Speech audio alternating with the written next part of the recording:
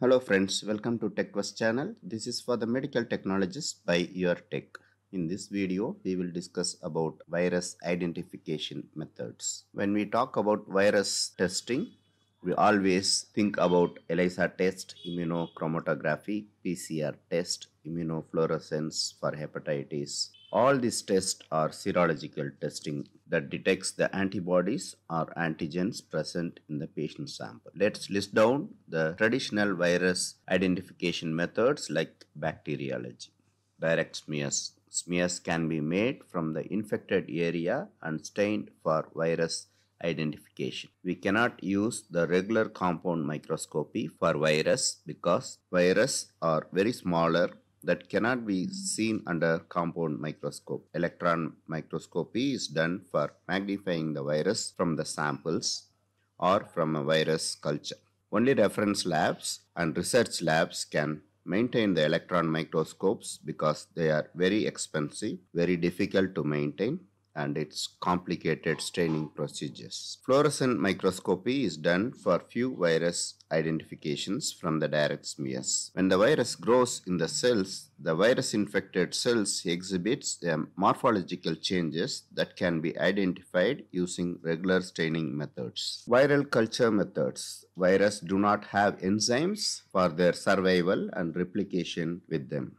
They need host cells for their survival and replication so they cannot grow in an artificial medias like bacteria. They need living cells for their growth. There are three methods for viral cultures. One is animal inoculation method. Lab animals like mice, rabbits, guinea pigs, ferrets, and monkeys are used for animal inoculation.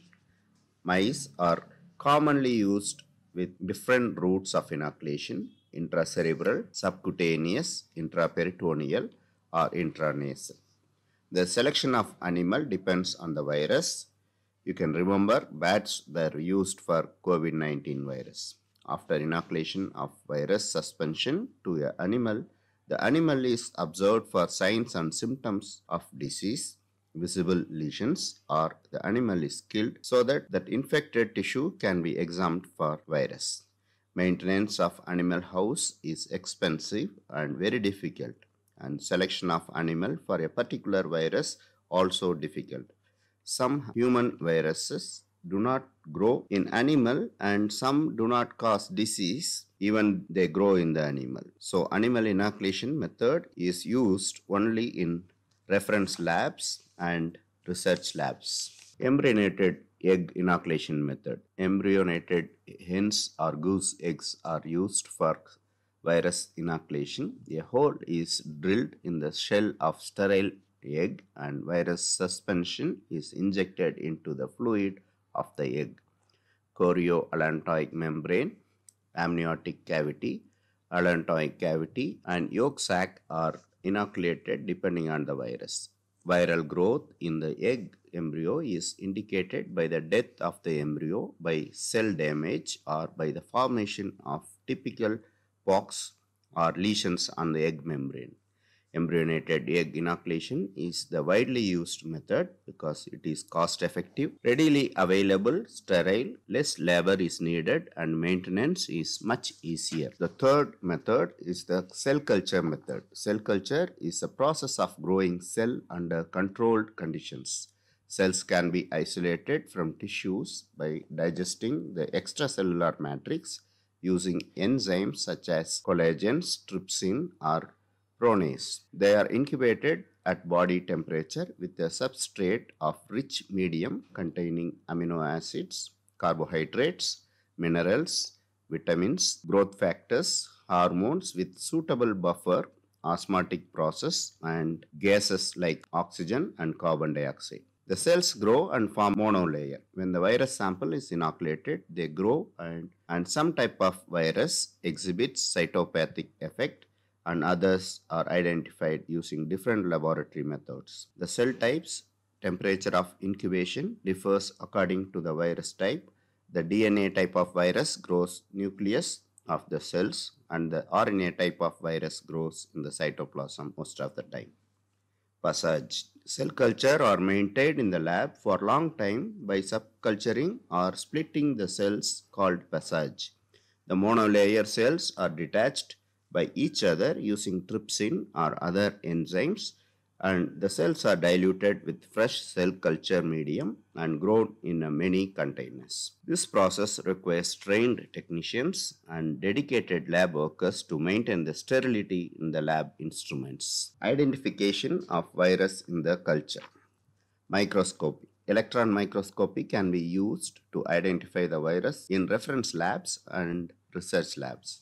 Fluorescent microscopy immunofluorescence. If the cells or tissue is infected with the virus, an antibody specific to that virus will be able to bind it. When the antibodies are tagged with immunofluorescence material, they are easily identified using fluorescent microscope. Immunoperoxidase tagged antibodies produce dark brown color for identification. Cytopathic effect. Cytopathic effect or cytopathogenic effect is the structural changes in host cells caused by virus invasion. Rounding of the infected cells, fusion with adjacent cells to form syncytia, and the appearance of nuclear or cytoplasmic inclusions are present. The common type of cytopathic effect are total destruction, subtotal destruction, focal degeneration, and swelling or clumping of cells. The types of virus can be identified by their cytopathic effect on the host cells in cell culture. Heme adsorption. Some virus infected cells acquire the ability to bind red blood cells on their surface due to interaction between surface expressed viral proteins and ligands on the red blood cells.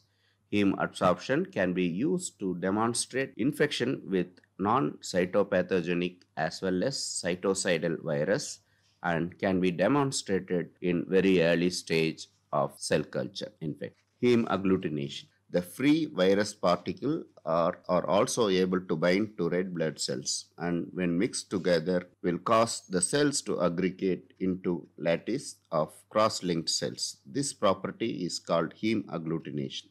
Virus containing sample is first processed in a serial two-fold dilution series a solution containing red blood cells is then added to each sample well.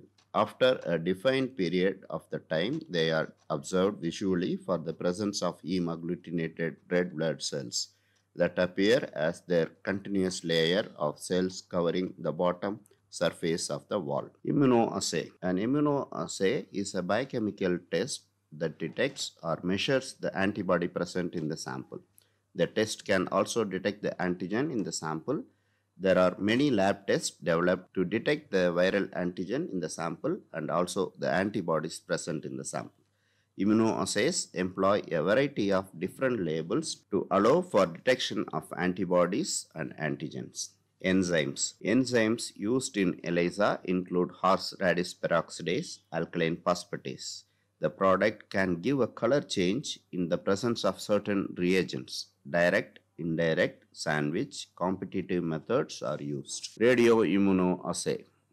Radioactive isotopes can be incorporated into immunoassay reagents. Radioactivity emitted by bound antigen antibody complexes can be easily detected using conventional methods. RIA method are not used in the labs due to potential dangers present by working with radioactive materials.